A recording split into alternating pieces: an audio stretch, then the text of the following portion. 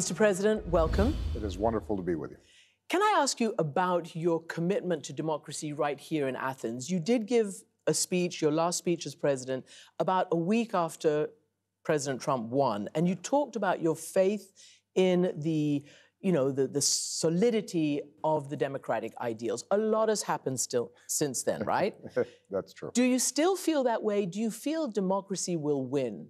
I, I do believe that democracy will win if we fight for it. I, it democracy is not self-executing.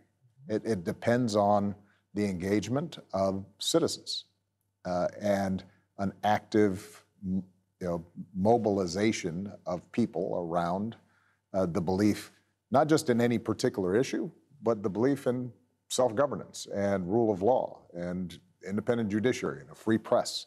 Uh, all the civic institutions that go into making a democracy work. And uh, I think it is indisputable that a combination of forces have put enormous strains on democracy and that we've seen a backlash against uh, democratic ideals around the world. Uh, it, it's not unique to any one place. Mm -hmm. uh, it's happened in Europe. It's happened in the United States.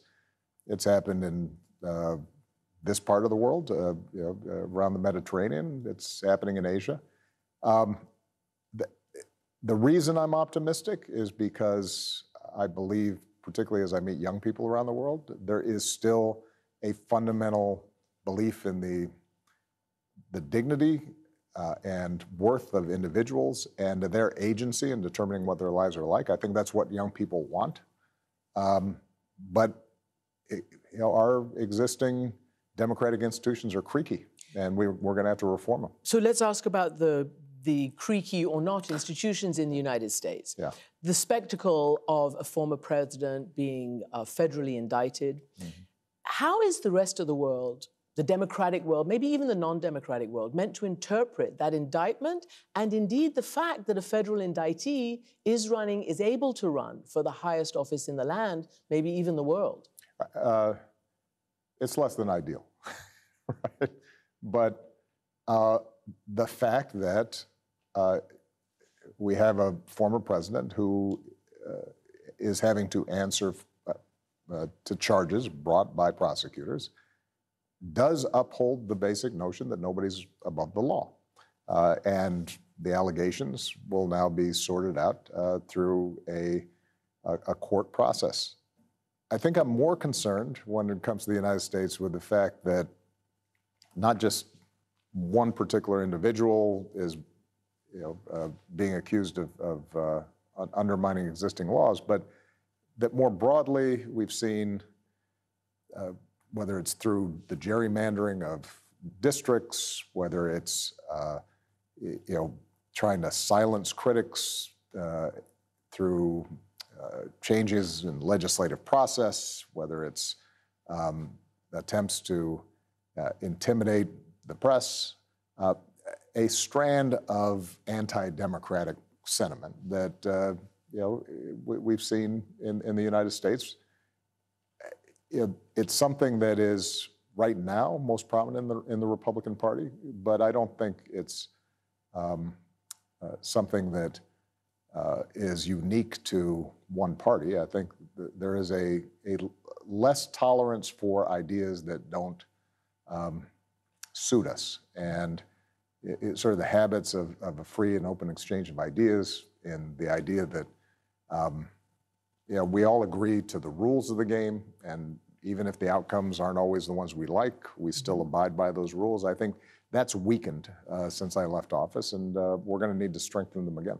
So I do need to ask you then a follow up on that because what happens if Donald Trump wins again? It's said that the institutional guardrails of American democracy yeah. was strong enough to survive a one a one term presidency. Are they strong enough to survive if that kind of person personality wins again. I won't step. Uh, I won't speculate on the outcome of a future election. Uh, obviously, I'm a Democrat. I've got a deep. Uh, I mean the institutions. Interest in the outcome. But but I'll I'll make a general statement, mm -hmm. which is having been president of the United States, you need a president who takes the oath of office seriously. you need a president who believes not just in the uh, letter, but in the spirit of democracy. And the, the essential spirit of democracy is that as President of the United States, you are just one representative of the people in a series of co equal branches. There are checks and balances to the system. You are subject to those checks and balances. Uh, you cannot ignore them. You cannot make your own rules. Uh, you cannot view uh, the Justice Department as your personal law firm.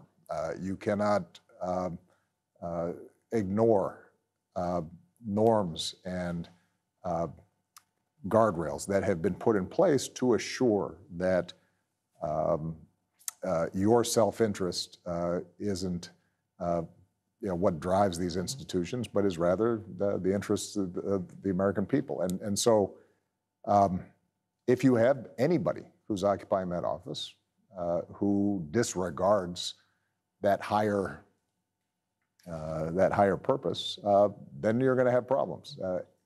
the good news is that through the mechanism of voting, the American people are going to have the opportunity to reaffirm their belief in American democracy. And, and the other thing, uh, Christiane, I, you know, I, I, do think that what happens in the United States matters around the world.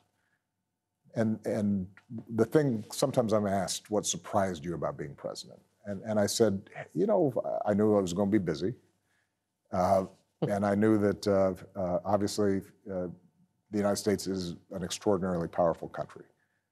The idea of America, the idea of a, the possibility of a multiracial, multi-ethnic, multi-religious, large, big, complicated country still being able to function as a democracy, that is an important idea for the world.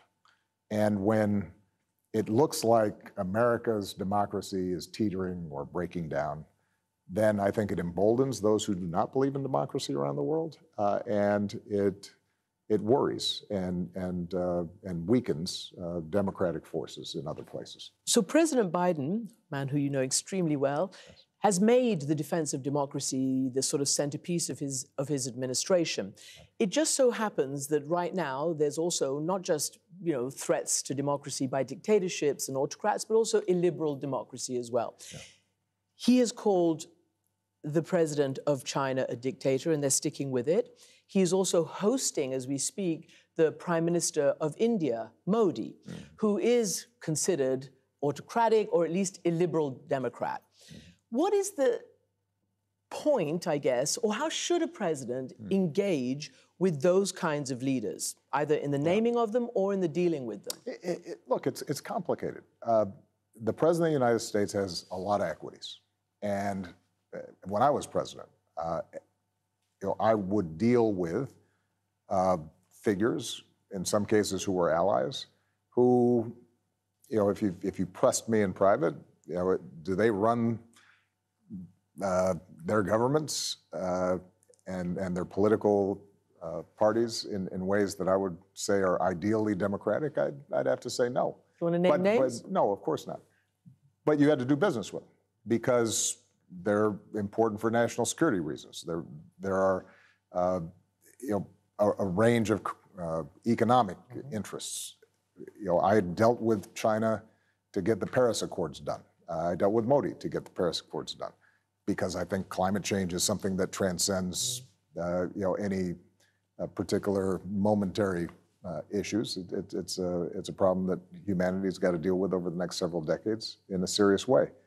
Um, I do think that it is appropriate for the President of the United States, where he or she can, to uphold those principles and to challenge, whether behind closed doors or in public, um, trends that are troubling. And so um, I'm less concerned about labels than I'm concerned about you know, specific practices. Uh, you know, I think it is important for the President of the United States to say that if uh, you have Uyghurs in China uh, who are being placed in mass camps uh, and re-educated, quote unquote, uh, that's a problem. That, that's a challenge to all of us. uh, and, and we have to pay attention to it.